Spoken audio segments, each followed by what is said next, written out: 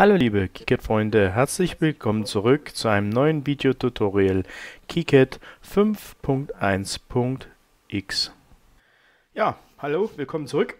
Heute möchte ich euch noch schnell etwas zeigen und zwar zum Thema äh, FreeCAD EdgeCAD Export ins KiCad. Da hat es äh, einige Fragen in den letzten Tagen dazu gegeben.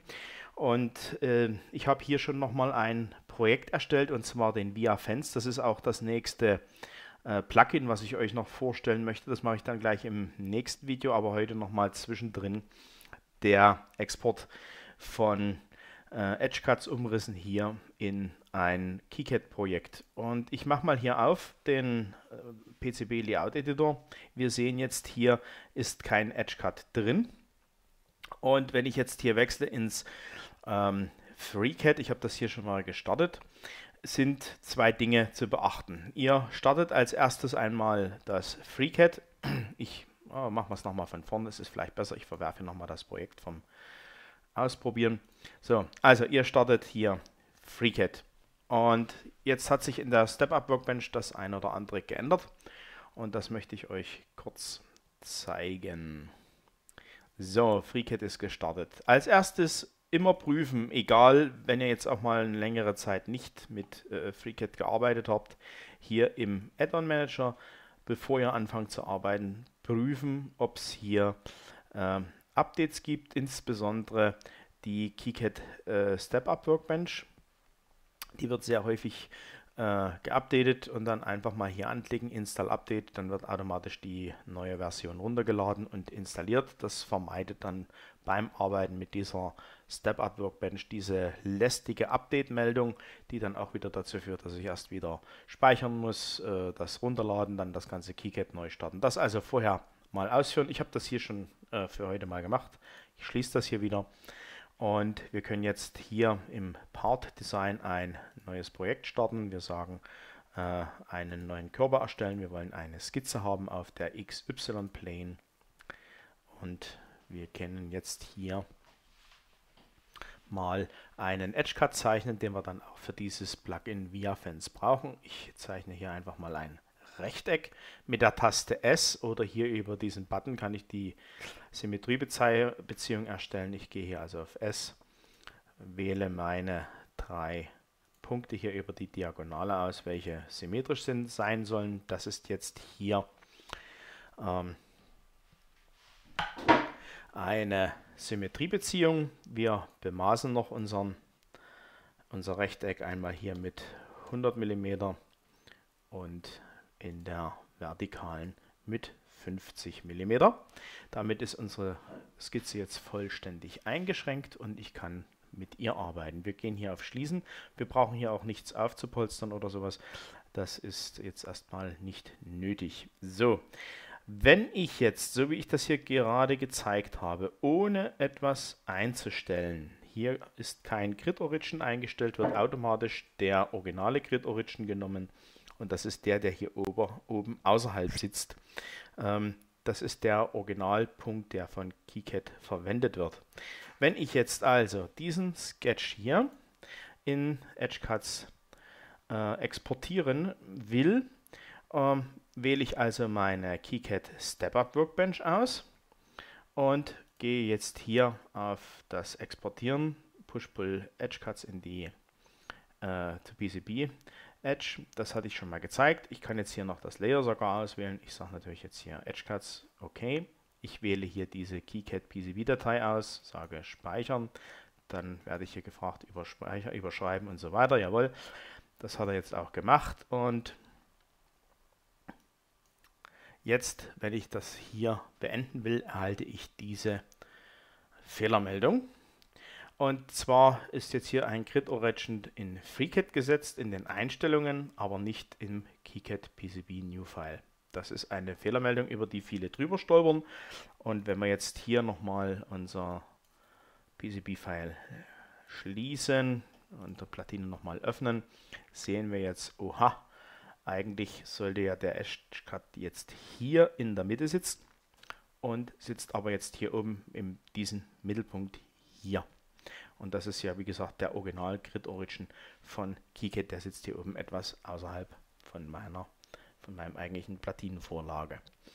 So, ja, wie können wir das jetzt ändern? Dazu gibt es zwei Möglichkeiten. Möglichkeit 1. Wir gehen mal hier, äh, wir rufen hier also die KiCad Step-Up Workbench auf. Die muss auf, eingestellt sein. Gehen hier auf Bearbeiten Einstellungen und sagen jetzt hier unten in diesen Einstellungen, hier unten, äh, hier das PCB Placement. Und da sagen wir hier ist Grid Origin und Grid Origin ist jetzt eben dieser Punkt außerhalb. Ich kann das hier ändern in PCB Sender. Ich mache das jetzt hier mal. Ja, dann kann ich hier auf Anwenden gehen, sage auf, gehe auf OK und ich muss jetzt natürlich hier meine Platine mal schließen. Ich muss dieses äh, File neu erstellen. Auch das hatte ich bereits schon mal angesprochen.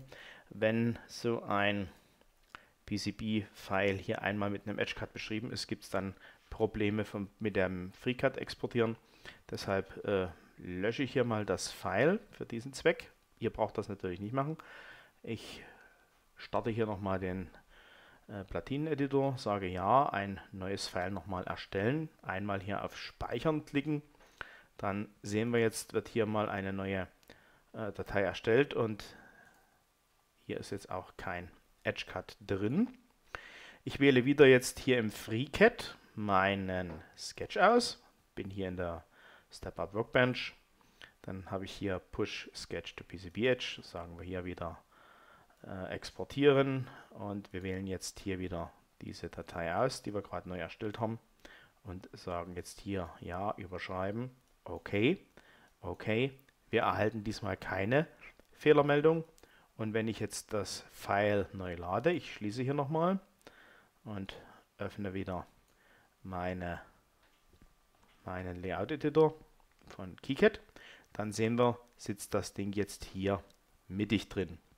Das ist die Variante, wie ich diese, oder die Variante 2, wie ich diese Fehlermeldung vermeiden kann. Ich schließe jetzt wieder den Editor.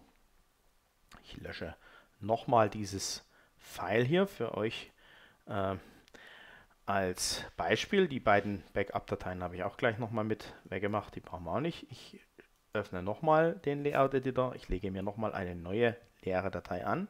Einmal speichern.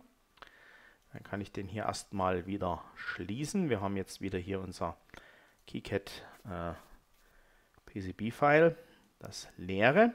Und ich gehe wieder hier ins FreeCAD zurück. Ich stelle jetzt hier in den Einstellungen, in den Einstellungen für die Step-Up Workbench, wichtig, dieser Button hier unten, der taucht nur auf, wenn hier KiCad Step-Up eingestellt ist. Ich gehe hier wieder zurück auf Grid Origin ich stelle das hier wieder zurück. Ich würde jetzt theoretisch die Fehlermeldung erhalten. Sage jetzt hier einfach mal anwenden. Okay, lass das jetzt mal so, wie es ist. Jetzt öffne ich nochmal den Layout-Editor, drücke die Taste S.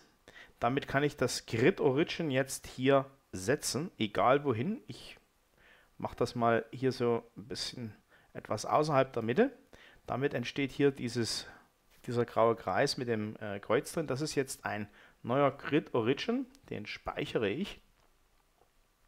Mache jetzt hier zu und ich exportiere jetzt nochmals hier diesen Umriss in Edgecuts. Gebe ich jetzt hier wieder an.